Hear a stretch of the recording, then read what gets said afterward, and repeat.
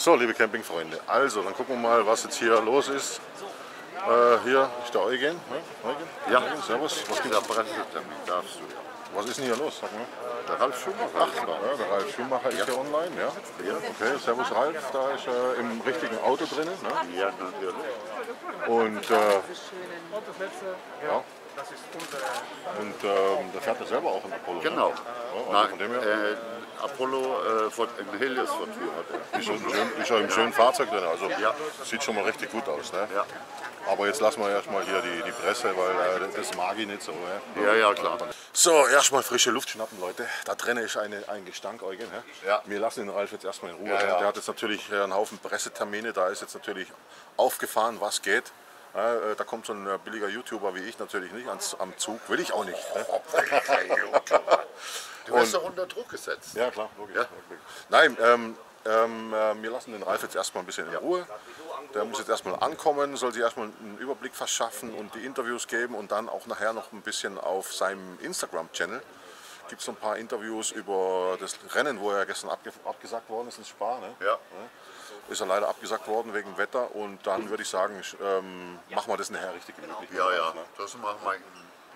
Machen wir das nachher richtig gemütlich. In der. Zwischenzeit zeige ich euch mal, was es noch so gibt auf der Messe und dann später ähm, ein Interview mit dem Ralf. Hä? Bleibt dran. Jetzt als erstes geht es hier in den Clever Celebration mit Skyroof, mit Aufstelldach und mit einer Doppelsitzbank vorne. Ne? Bullfänger dran, jawohl, also macht schon mal einen richtig schönen Eindruck. Ja, schönes Aufstelldach. Und ähm, gehen wir mal rein in das gute Stück. Was kostet das Ding? Gucken wir mal hier die, die Grundausstattung an. Grundpreis 42,9 und dann haben wir einen Haufen Optionen noch dabei. Okay, aber das ist natürlich ein Highlight hier. Habe ich so noch nicht gesehen. Die Doppelvordersitzbank ja, zum Drehen. Also das ist, das ist noch mal was ganz was anderes. Auch ein schönes Polster, muss ich sagen. Ne? Setzen wir uns mal hier hin. So. Also, oh, Alter Schwede, ne? also da hat man noch richtig Platz. Wahnsinn. Habe ich mal was ganz, ganz, ganz was anderes hier, diese, diese Sitzbank. Also hier können auf jeden Fall äh, zwei hier vorne, Fahrer, drei, fünf Leute können hier mitfahren. Ne? Ihr seht schon, hier hat es auch noch zwei Plätze. Ne? Also hier können fünf Leute mitfahren.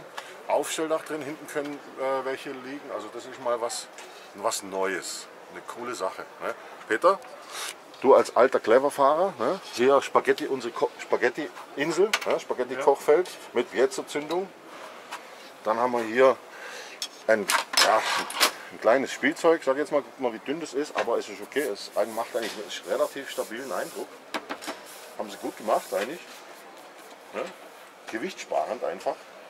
Da unten haben wir noch Schalter für die Trittstufe und Schalter fürs Licht. Ne? Und dann haben wir die Sitze, die sehen wirklich, also die haben sie wirklich jetzt mal richtig gut hingebracht. Das sieht mal geschmackvoll aus. Ne?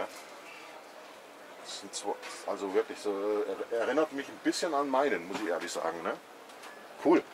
Schränke, Schränke hier, oh, schön mit Softklaus. Das geht sehr gut auf, da nicht, nur in der Mitte. Kabel liegt schon drin. Und vorne das Sky, Skyroof natürlich. Hier fehlt mir jetzt natürlich meine Ablage, aber es hat schon was. Gerade wenn man so eine Doppelsitzbank hat, ne, dann ist natürlich dieser Skyroof nicht schlecht hier. Wow, macht was her. Wir haben hier ein, was haben wir denn hier? Ein Citroën mit Schaltgetriebe. Das ist schon Hinguck. Da musste ich jetzt einfach mal reingehen. Einfach mal um die Sitzbank hier anzuschauen. Cool. Ja, dann haben wir unser Aufstelldach hier. Ja, da oben ist natürlich eine riesen Liegewiese. Schaut euch das an. Ja, Polo. Schauen wir mal hier unter die Matratze. Aha. Jawohl. Und dann schauen wir mal weiter hier. Ne? Schubladen. Ja, gut, da ist das Nötigste, was man so braucht. Ne? Wo ist denn der Kühlschrank? Ah, der Kühlschrank ist da, logischerweise. Ne? Der Kühlschrank ist da. So, wir haben hier einen Kühlschrank von äh, wie Trifrigo. Ein Kompressorkühlschrank. Jawohl. Und das Bad. Schauen wir uns das Bad an. So, eine, die Tür geht schon mal nicht weit auf hier. Ihr seht hier den, den Kunststoffbändel hier. Geht nicht weit auf, also hier schon mal ein bisschen beengt reinzugehen, aber hier drinnen ist es sehr geräumig. Wir haben hier kein Dachheki, aber ein Seitenfenster. Und wir haben hier wirklich eine schöne Nasszelle, sehr pflegeleicht, sehr pflegeleicht, gut zum Waschen. Ich gehe jetzt da mal nicht rein, aber ähm, ich habe hier drin auf jeden Fall Platz zum Duschen. Sollte kein Problem sein, ne? Schaut euch das an. Ja. Jawohl, also kann man nicht motzen. Ne? Ja, Clever hat nachgelegt, Leute. Clever hat nachgelegt. Jetzt gehen wir mal dahinter. Hier haben wir dann einen Querschläfer. So. Hier sieht man schon mal, was man, was man für Platz hat, wenn man, wenn man das Ganze als Transporter nutzt. Ne? Wir haben hier natürlich richtig viel Platz, können eine Waschmaschine transportieren etc. etc. Und haben hier einfach einen Querschläfer drin. So. Jawohl, Stauraum ist auch viel, aber mir gefällt schon mal hier ähm, die Haptik. Ja, da haben sie wirklich nachgelegt, also stößt auch oben nicht an. Beim Zugehen muss man ein bisschen aufpassen, das kleppert sonst, äh, das knallt sonst zu, aber ansonsten passt es soweit. Ne? Also, da haben sie nachgelegt, clever, muss ich ganz ehrlich sagen, top. Und auch hier, ihr seht schon die Scharniere, ja, haben sie ein bisschen nachgelegt mit der Gasdruckfeder. Aber jetzt gehen wir hier raus, äh, da wollen auch andere Leute rein.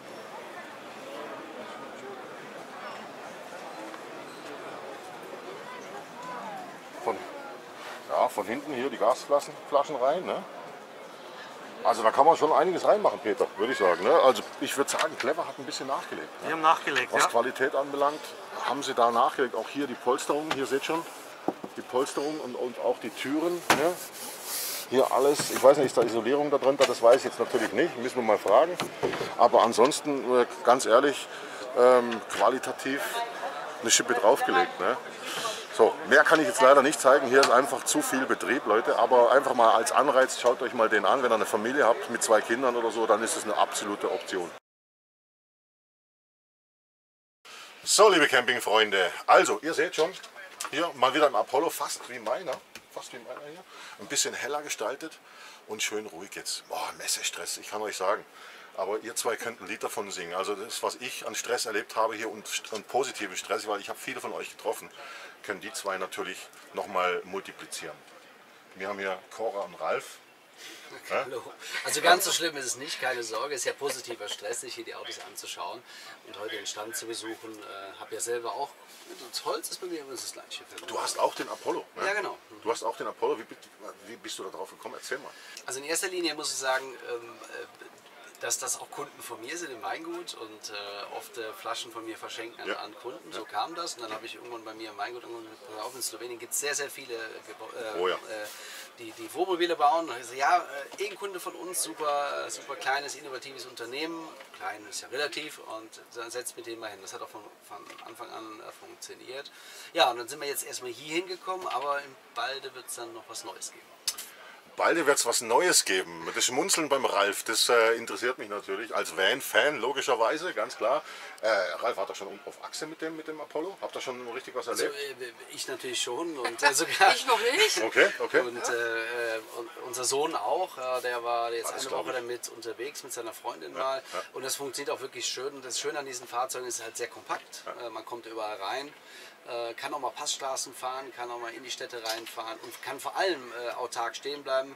Bis auf die Klimaanlage muss ich sagen, ich brauche noch nie Strom. Also Kühlschrank, alles geht auf Strom und es funktioniert tadellos. Das ist natürlich immer der, der technische Teil. Ne? Ja, da ist ja, aber der Ralf ja. sehr, sehr gut drin. Wir Frauen, wir wollen natürlich immer was fürs Auge. Was fehlt dir denn bei Roberta Koch? Nein, ja eben witzigerweise ja gar nichts. Also ich war ja wirklich baff, wie äh, toll die eingerichtet sind. Das ist ein großartiges Holz. Weil wir Frauen, wir kaufen ja immer nach dem Auge. Männer gehen ja dann immer eher so nach der Technik, Mhm. nach dem Stauraum, ähm, nach allem, was da irgendwie so mit Schnickschnack, Elektronik und so weiter zu tun hat. Und wir Frauen, wir gucken nur, boah, kommt noch ein pinkes Kissen hin. Hast du deinen Stempel schon aufdrücken können? kommt noch. Okay. Äh, ja, also äh, der Ralf hat ja äh, und die Cora, die haben hinten äh, im Apollo ja eine Exits-Gruppe drin. Ja, also die haben kein normales Bett, wie jetzt bei mir, wie ihr jetzt bei mir kennt, sondern ihr habt eine Exits-Gruppe drin. Wahrscheinlich kannst du dann natürlich auf, auf den Rennen, du bist der Moderator bei Sky, Co-Moderator oder äh, Ja? Moderator, Experte, ja. Experte, Ähm, Experte. ähm, Beides. Ja, also für mich ist halt immer nett, man kann hier vorne nett sitzen, gar keine Frage. Und das ist auch im Alltäglichen, wenn man zu zweit ist, ganz okay. Aber wenn man eben auf der Rennstrecke ist oder auch mal mit ein paar Kumpels abends ein Glas Wein trinken oder mal was essen will, dann bietet sich das dahin natürlich Ja, an. Vor allem, wenn man rückwärts mal irgendwo hinfährt, ist ja gigantisch. Die Absolut. Türen sind auf, Ja, ja, das ja. macht viel Freude. Und deshalb, und beim Schlafen ist überhaupt kein Problem. Es geht innerhalb von, ich sag mal, zwei Minuten, wenn überhaupt. Äh, macht man da wieder ein Bett draus und gut ist. Was natürlich auch interessant ist, sowas ist auch ganz easy von einer Frau äh, zu bedienen. Also Ja, das ist absolut. überhaupt gar kein Problem. Absolut. Bloß keine Angst vor haben. Wirklich, die haben riesengroße Außenspiegel und man kann die Dinger sehr, sehr gut manövrieren.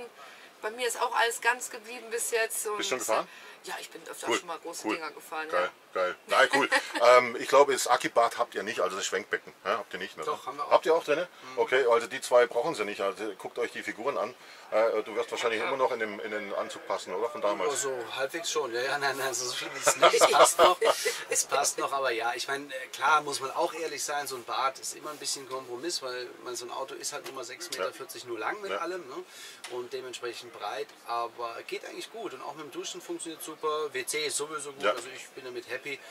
Also muss natürlich jeder für sich selbst. Ich sage euch nur, kommt mal vorbei auf der Messe, schaut euch die Fahrzeuge selber an. Äh, trotz allem muss ich jetzt noch fragen, keine Angst, jetzt kommt eine coole Frage.